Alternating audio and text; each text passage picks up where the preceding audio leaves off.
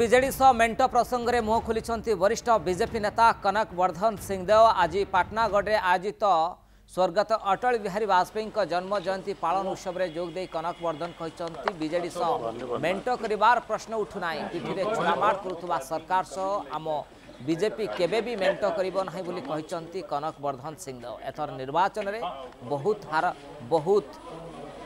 भल भाव दल लड़ आल सीट पाइब दृढ़ोक्ति प्रकाश करजेपी नेता कि नुआ कथा नहीं सरकार गढ़ भारतीय जनता पार्टी कार्य करुच्ची उद्यम करुच्ची आगामी दिन में सुनिश्चित आकार रे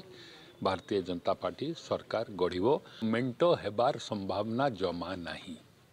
मुझे कहूँ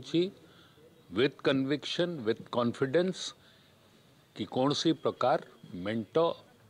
ये छुरा मारू सरकार संग्रे हेबार नहीं